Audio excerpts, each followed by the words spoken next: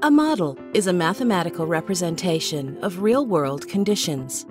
We use different types of models every day when we plan activities around a weather forecast, decide how to best invest our financial resources, or calculate driving time based on current traffic conditions. Researchers from a variety of disciplines develop and use models to study complex, real world problems. At the University of Michigan Water Center, we use models to represent systems such as watersheds and lakes. We use the models to evaluate the potential impacts of different management strategies on physical, chemical, and biological processes such as hydrology, nutrient cycling, crop growth. We also use models to assess current conditions and predict future changes. Modeling frameworks are built upon previous research findings, and modelers rely on existing data and knowledge of the system to make deliberate and informed decisions about how to develop and calibrate their models.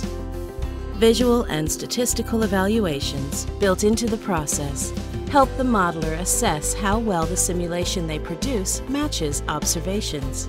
These validation checks also help modelers assess how well a model characterizes the conditions it is designed to represent. For any given system, there may be many reasonable models developed.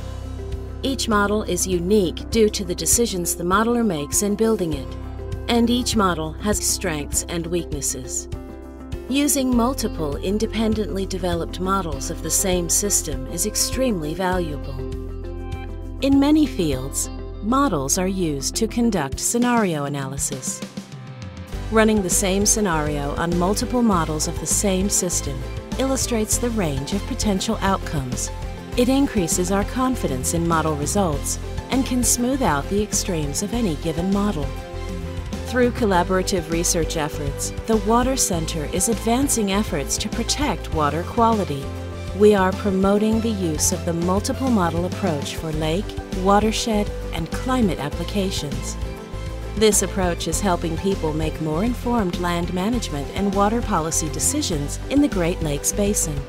This work was supported by the Erb Family Foundation.